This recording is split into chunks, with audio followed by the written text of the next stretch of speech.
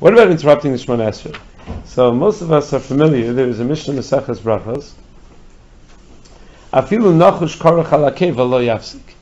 If you have a snake around your heel, don't stop your Shemona Esrei. I challenge you.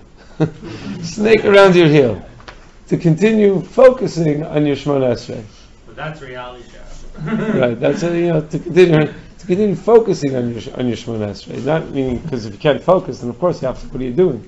But to continue focusing on your Shemona. So uh, yeah. So what about interrupting? So it's a I feel nachush karach ala So it seems very bad over here. Even even if the squirrel's around your ankle, you're not allowed to be mafsik. So yeah, so we're we're the Gemara in Brachos and Gimel. Amr of Sheish Shanuel Nachash of Lakrik Posik. But if it's dangerous, if it's something that's gonna that's gonna kill you, so then you could stop. Yeah, but uh, as far as you know, the squirrel's not dangerous, even if it's uh, so. So luchari, you shouldn't be able to stop.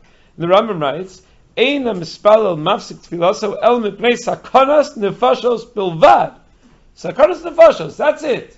Short of that, you don't know. Would, would these people bench Gomel? They really thought it was Sakanas Nefashos? So probably not. So I thought that maybe it's a problem, but then you just look a little bit further and you see that it's not a problem at all. Beis Yosef writes in Simchav Dal Nimra Ben Yonah. Ben Yonah says on that uh, on that Gemara, Chafal from Ralph Bedap Rif. V'afal pishen lo lahafsik uledaber afilu hachi yachal laleches kidei she'ashlichenu me'elav Shalom matzinu halicha shenikres hafsaka b'shum makom. Says Rabbi Yono, we, we have to define the term mafsik. What does it mean that you're not allowed to be mafsik when there's a nachash on you? It doesn't mean you're not allowed to pause. It doesn't even mean you're not allowed to move. It means you're not allowed to speak.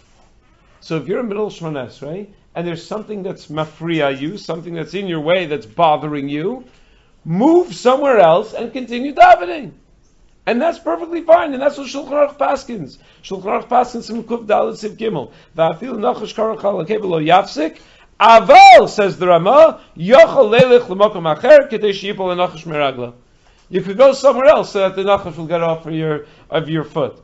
Taz questions it, so there's a big tumult in the poskim. Biur Halacha says at the end, what I quoted in the Mishnah Berurah is correct. The makom sheish tzorach gadol yesh lismach al makilim tahalicha lo chashav hefsik kikein eskimu kama achronim. They could certainly rely that alicha is not called a hefsik, and therefore you're able to walk away. It's not a, it's not a problem. In fact, I saw in the uh, in the later achronim. Uh, they, they, they give examples. The Piskei Teshuvos quotes from all the uh, later Achronim who gives give examples. And what do they say? Piskei Teshuvos in Simukov Dalit Ha'ara 55 right? Umatzu ke'elu shema avdim legamri es rikos ha'machshava kishemeshotet chatul b'svivatam. O kishetzipur b'cheda. Happens sometimes in camp. You know a bird gets into the shul and is flying around. And every kid is you know looking at the bird and is so the the kavan is gone at that point. Or there's a in Eretz Yisrael there are a lot of cats all over the place. So a cat walks into shul so that causes everyone so says Piskei Teshuvos, move, go to a different room, go somewhere else, and finish your Shemona Esrei. That's enough. You don't need it to be the greatest. So in this case, with a scroll running around shul, the rabbi I think did the right thing by saying, "Okay, everyone leave. Even if you're middle of Shemona Esrei, just leave. Go out. Don't talk. Just go out of shul and finish your Shemona Esrei there." So I think that that's fine. What about being closer to the beginning of Shemona Esrei? Does he have to be? So the halacha is that only if he's mafsik kedei ligmar skula, only if he's mafsik enough to finish the entire Shemona Esrei, then you'd uh, you'd have to go back. But if he's not mafsik that much, then you wouldn't have to go back.